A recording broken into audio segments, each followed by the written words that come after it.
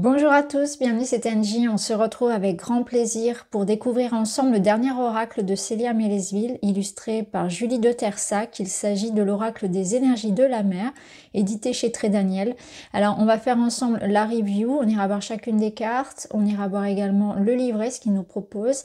Et puis à la fin de la vidéo, on ira chercher un petit message comme d'habitude. Embarquez pour un voyage passionnant à la découverte de vous-même. Laissez-vous bercer par la houle et écoutez attentivement les secrets que vous murmure la mer à travers les souffles salés du vent. Au fil des tirages, les profondeurs vous dévoileront des trésors cachés, des réponses insaisissables et des vérités jusqu'alors inconnues pour vous aider à garder le cap dans le tourbillon de votre vie et atteindre une meilleure compréhension de vous-même. Cet oracle véritable phare dans la nuit sera un guide précieux pour rééquilibrer vos forces intérieures, naviguer vers un océan de sérénité et vous aider à élucider les mystères de votre propre destinée. Donc le coffret contient 40 cartes oniriques, un livre de 120 pages. Alors il arrive dans un boîtier euh, aimanté, aux couleurs bien sûr de l'océan, de la mer. Voilà, tout bleu, Voici le dos. Les tranches sont dorées. On est sur un format euh, classique pour un oracle. Au niveau des cartes, elles sont cartonnées. Voilà.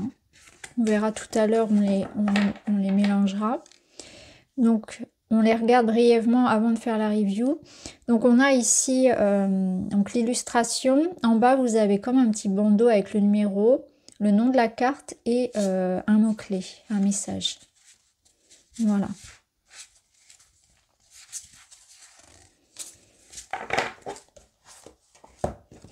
J'ai oublié une carte. Hop, je la remets. Restez collé au livret. Voilà. On va le mettre là en attendant c'est parti pour donc le livret d'accompagnement. Petite introduction des méthodes de tirage. Donc le tirage à une carte, le tirage à quatre cartes. Et ensuite on passe donc à chacune des cartes par ordre de son numéro. Donc 40 cartes. La présentation donc de l'auteur, Célia, et puis euh, de l'illustratrice. Donc ici vous avez une petite présentation de du contenu, de la création. Ensuite, les méthodes de tirage, donc des conseils pour se connecter au jeu. Le tirage à une carte qui s'appelle le tirage de la vague. Donc le tirage à une carte vous montre ce qui vient à vous de façon rapide. Donc c'est le tirage qu'on fera tout à l'heure. Le tirage à quatre cartes, tirage de la mer. Donc ces quatre cartes qui permettent d'obtenir des informations et des conseils sur une situation actuelle, les changements à venir et les ressources à exploiter. Donc vous avez la sagesse de l'océan. Quel enseignement dois-je tirer de ma situation actuelle et qui m'aideront à éclairer mon chemin? Deuxième carte, la vague de transformation. Quels changements et transformations arrivent dans ma vie? Numéro 3, carte 3, la question, le navire de la destinée. Quelle direction dois-je prendre pour atteindre mes objectifs? Donc cette carte offre des conseils sur la manière de naviguer avec confiance et détermination vers vos aspirations. Et enfin la quatrième carte, le trésor caché. Quelles ressources possède, je possède, donc je n'ai pas euh, encore conscience. Donc cette carte évoque vos talents cachés et cherche à dévoiler les joyaux qui résident en vous et qui enrichiront votre vie. Donc ensuite on passe à chacune des cartes, donc à chaque fois on retrouve une illustration euh, pleine page avec euh, donc le petit message qu'on retrouve sur la carte qui est un peu plus développé ici. Et vous avez la même chose pour chacune. Donc on ira voir en fin de vidéo. On ira chercher notre petit message et puis je vous, livrerai, je, vous lirai tout ça. Voilà. Alors c'est parti. On va aller faire la review complète et on se retrouve juste après pour un petit message.